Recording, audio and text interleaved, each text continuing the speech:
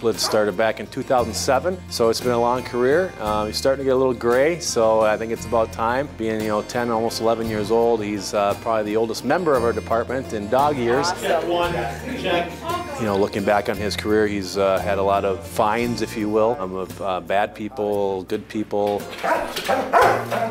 Got to be with him for, what is it, 3,370 some days, but there was a lot of people behind the scenes that really made this work. The Cottage Grove Crime Board, uh, now the Public Safety Board, did a lot of fundraising, and we're very thankful for that, and we look forward to our canine program being a big part of what we do here in Cottage Grove going forward, and we uh, wish uh, Officer Nils Torning and Gunner the best uh, as they graduate and they start their career.